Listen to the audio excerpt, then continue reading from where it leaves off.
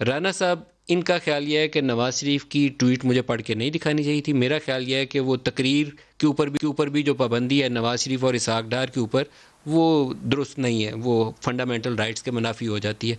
आप इसके ऊपर कुछ वजाहत करने लगे थे कानून की रोशनी में, दोबारा आप इसे सुनना चाहूँगा। जी देखें पहले तो मैं, जो आपने बात की है, मैं उसकी थोड़ी सी तोसी चाहूँगा या अगर मैं नहीं समझ पाया तो आप मेरी तोसी कर दीजिएगा कि इन अफसरान को इनके अहदों से नहीं हटाया गया। इनको वहाँ से पोस्ट आउट जो है वो किया गया है। और ये जो इनको सर उसकी जो आखिरी लाइन है जो यानी नहीं सर उसकी आखिरी लाइन ये है जो हमें ऑफिशियल स्टेटमेंट मिली है कि जो फर्दर एक्शन है वो कंसर्न डिपार्टमेंट उनके खिलाफ करेगा। जी वो उसके बाद ये है कि ये प्रीलिमिनरी रिपोर्ट है। जब वो यहाँ पे जी एच क्यू में ख़ुद को हाज़िर करेंगे तो उसके बाद मेरा ख्याल है कि इंक्वायरी का जो है वो प्रोसेस शुरू होगा। ये फ़िलहाल प्रोब हुआ है और प्रोब में उन्होंने एक पॉइंट का तयन किया है कि जी दिस वाज हैपन हो सकता है ऐसे ही जो लाइन हमें ऑफिशियली होगी ऑर्डर की जो लाइन मेरे पास है मैं अगर आपको पढ़ के सुना दूँ ऑफिशियल लाइन ये थी कि it has been decided to remove the concern officers from their current assignments for further departmental proceedings and disposal at GHQ ये है फर्दर डिपार्टमेंटल प्रोसीडिंग्स ये क्लियर हो गया। अंदर। जी ये हाँ ये क्लियर हो गया कि current assignment not from their जो है वो यानी जो उनका डेजिग्नेशन है उससे नहीं करंट असाइनमेंट जो है उसे उनको जो है वो हटाया ओहदों से ओहदों से हटा दिया गया दूसरी बात ओहदों से हटा दिया गया। नहीं जी ये करंट असाइनमेंट है हाँ तो इसमें चले बहरहाल इसमें जो मैं उस वक्त बात कर मैं कोशिश करता हूँ अगर मुझे अपडेट मिल जाए नवाज़ शरीफ वाले इशू पे अगर आ जाए। जी तो इसमें यह है कि जो वाडा साहब बात कर रहे थे देखें, कानून के मुताबिक तो जो कॉन्विक्ट है, उसके भी बुनियादी हकूक़ जो हैं, वो उसको बरकरार रहते हैं और वो किसी सूरत में जो आइनी हकूक़ हैं वो, जो है वो किसी सूरत में भी जो है वो सस्पेंड नहीं होते।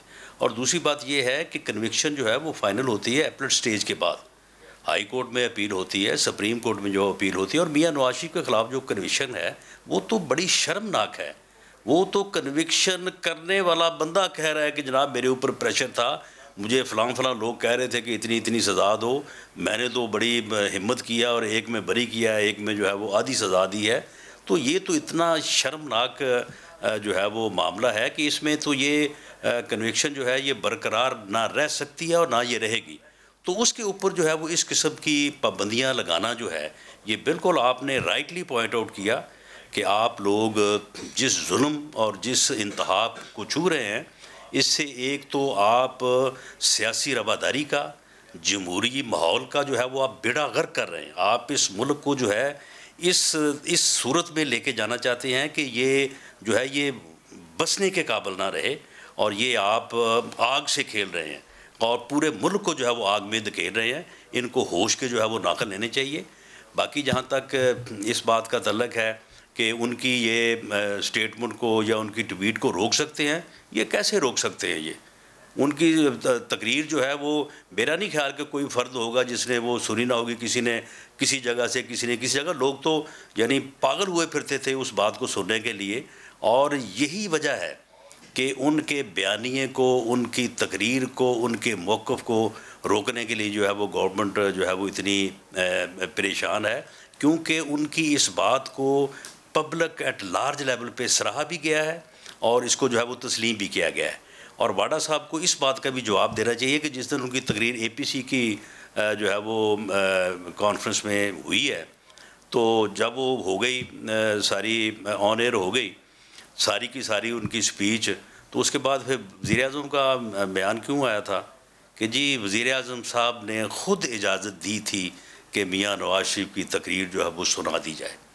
तो उस वक्त उनको नहीं पता था कि वो गवर्नमेंट ये तो मेरे ख्याल है उनको नहीं पता था कि वो बाहर जो है वो वापस नहीं आ रहे